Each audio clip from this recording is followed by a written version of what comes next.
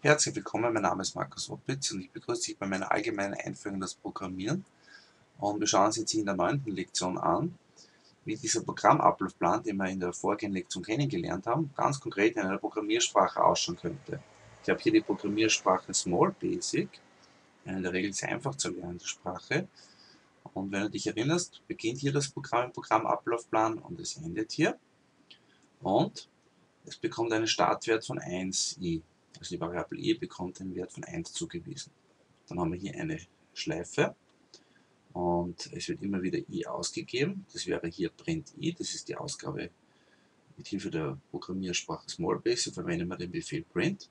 Und die Schleife wird so lange wiederholt, das heißt der Computer wiederholt die Ausgabe von i so lange, solange i einen Wert von kleiner gleich 100 hat. Und hier while, die Schleife ist while went in dem Fall, das wird so lange ausgeführt, diese Schleife, solange der Wert von i kleiner gleich 100 ist, wird print i ausgegeben. Wenn der Wert von i gleich 39 ist, denn das ist hier diese, Ab, also diese Abfrage geht immer von if bis end if. Und wenn i einen Wert von 39 hat, wird ihm der Wert von 61 zugewiesen. Ja, dann werden wir hier, wenn das nicht der Fall ist, ja, dann wird ähm, jeder Wert von 1 äh, noch zusätzlich dazugezählt, also addiert. Es wird dann immer mehr. Und solange eben i den Wert noch nicht von äh, kleiner gleich 100 hat, wird die Schleife ausgeführt.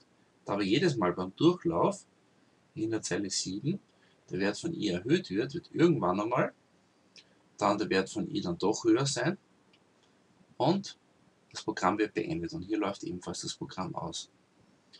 Man sieht, dass es sehr praktisch war, hier diese grafischen Ablaufplan vor sich zu haben, die wir im vorgehenden Lektion besprochen haben, um dann dieses Listing hier besser verstehen zu können. Also es ist sehr wichtig, einen Algorithmus sehr übersichtlich auch darzustellen und auch vielleicht grafisch noch darzustellen. Und darüber hinaus erlaube ich mir noch darauf hinzuweisen, dass es hier ganz wichtig war, hier zum Beispiel einzurücken, weil man hier so eher weiß, was zusammengehört. Also hier weiß ich sofort, dass die Zeile 4 und 6 zusammengehören, eine if-Abfrage, also ist das der Fall. Und dass hier eine Schleife while went von der Zeile 2 bis 8 geht, weil ich hier entsprechend eingerückt habe. Also die Übersichtlichkeit ist beim Programmieren etwas ganz Bedeutsames.